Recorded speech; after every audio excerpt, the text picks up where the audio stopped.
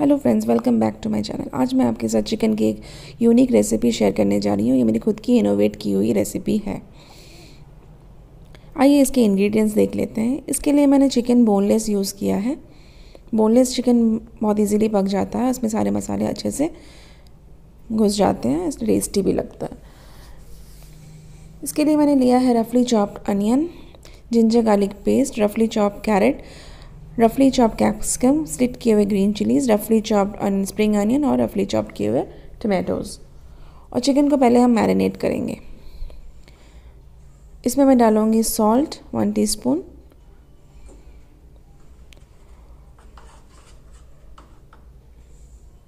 हल्दी powder one teaspoon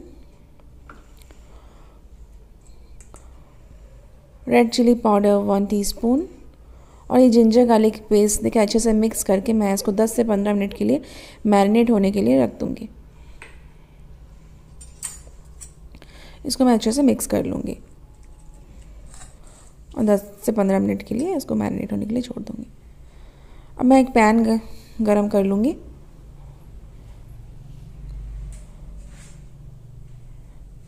pan हमारा अच्छे से गर्म हो चुका है। अब मैं इसमें ऑयल डालूँगी। मैंने मस्टर्ड ऑयल का यूज़ किया है।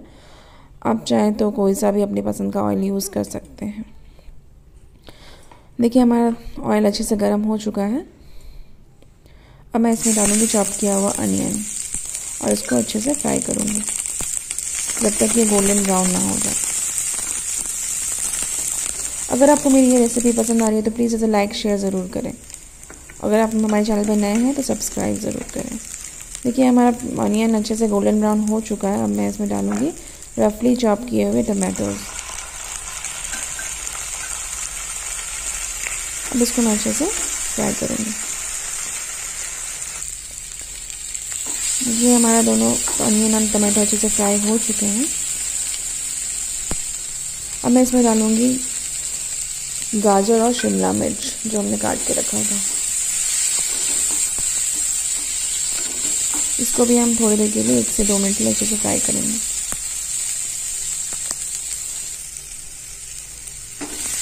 देखिए हमारा अच्छे से फ्राई हो चुका है। अब मैं इसमें डालूँगी चॉप किया हुआ स्प्रिंग अनियन उसको अच्छे से मिक्स करूँगी।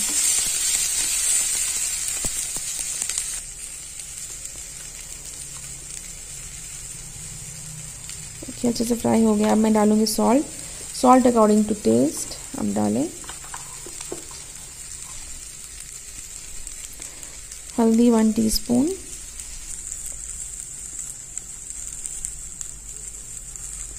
red chilli powder one teaspoon अब तीखा अपने हिसाब से कम ज़्यादा कर सकते हैं। अगर आप तीखा नहीं खाते तो आप इसे स्किप भी कर सकते हैं।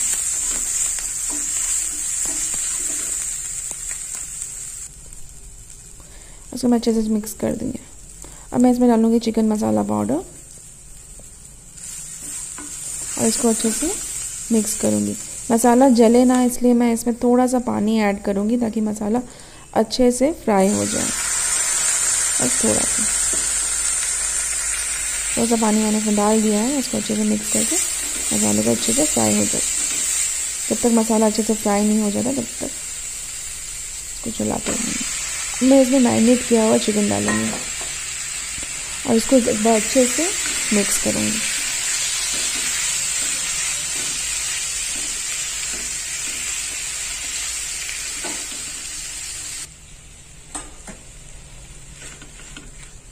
बीच बीच में मैं इसको चलाती रहूँगी। मैंने गैस का फ्लेम मीडियम रखा है।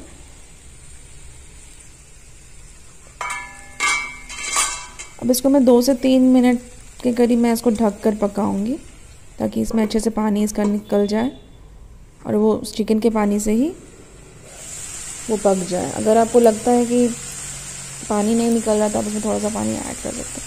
अब मैं स्लिट किया और ग्रीन चिली मैंने डाल दिया है। उसको अच्छे से मिक्स करते हैं।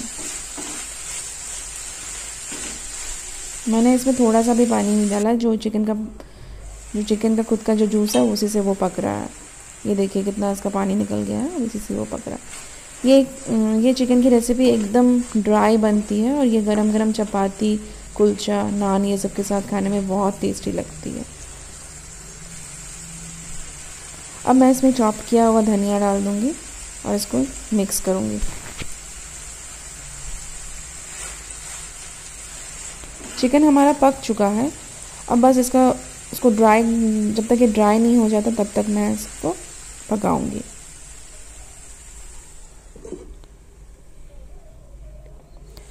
देखिए चिकन एकदम अच्छे से फ्राई हो चुका है। एकदम पक चुका है मैं इसको सर्व कर दूँगी।